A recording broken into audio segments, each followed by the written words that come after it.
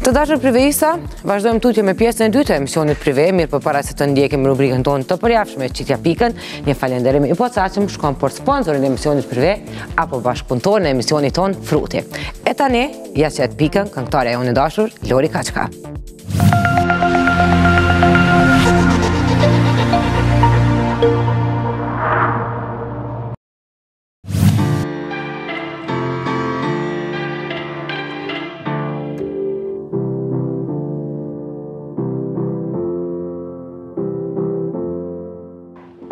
Momentalisht ndihem shumë e përmbushur, të paktën ato çfarë kam kërkuar, i kam për momentin, faleminderit Zotit, nganjëherë e mira s'ka fund, faktikisht, neve kërkojmë gjithmonë shumë e më shumë, por edhe nganjëherë ke diçka të mungon diçka tjetër, por unë momentalisht mund të them se jam e përmbushur.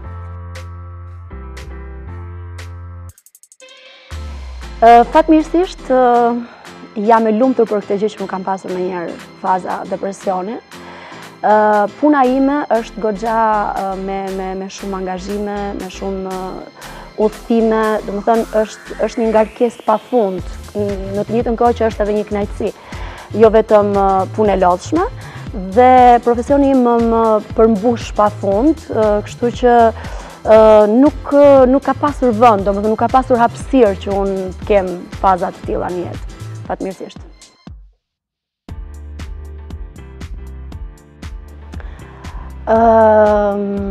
të menduarit, të vepruarit drejt, njeri të mirë të bën momentin që ti nuk mendon keq edhe nuk do t'i bësh keq dikujt, të bën kur je human, mundohesh, domethënë, me atë pak mundësira që ke, ose shumë mundësira që ke të ndihmosh tjerë që kanë nevojë për ty.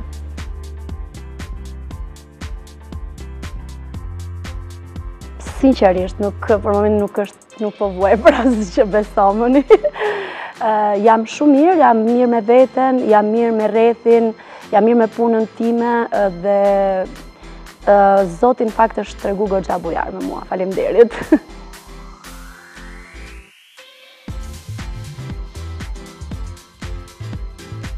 Dihet që unë kam marrë pjesë në shumë uh, gazmende, dasma, madhështore, shumë të bukura. Por momentin uh, që unë do vendos në të ardhme, nëse vendos për të bërë një dasmë, uh, dasma ime do jetë shumë, shumë private. Domethënë, do jetë një Një darkë familjare, pa kamera, pa telefona, më vjen keq, Florian, mund të jesh i ftuar pa kamerë dhe telefon, as telefonin s'do ta lë. Domethënë, thjesht një, një, një festë shumë, shumë private, që të mund ta shijoj. Ta shijoj atë çast.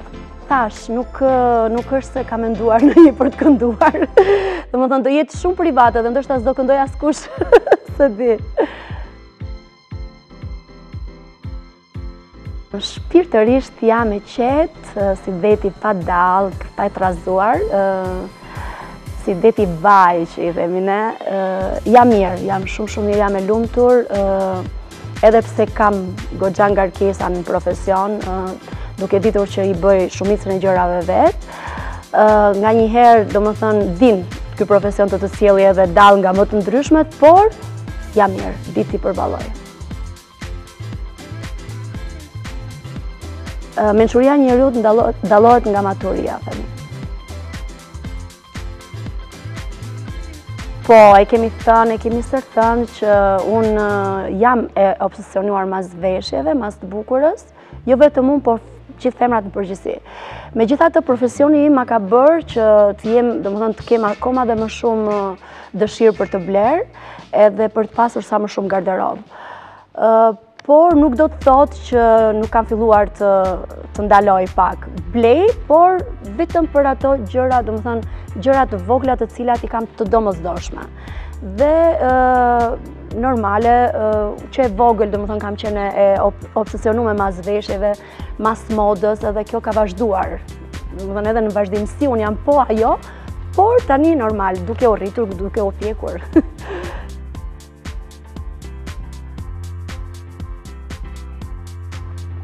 Jam kumbara e mbesës time, Emilit. Emili është vajza e vllait vogël, e dua fort, ashtu siç i dua edhe mbesën tjetër edhe dy nipat. Kush është ajo hallë që s'i do nipat dhe mbesat, normale. Mundohem që të jem sa më shumë prezente në festat që ajo ka. Mundohem që t'ja plotësoj çdo dëshirë, si kumar, djetë. Më kanë vlerësuar për pavarësinë time. Unë jam goxha e pavarur.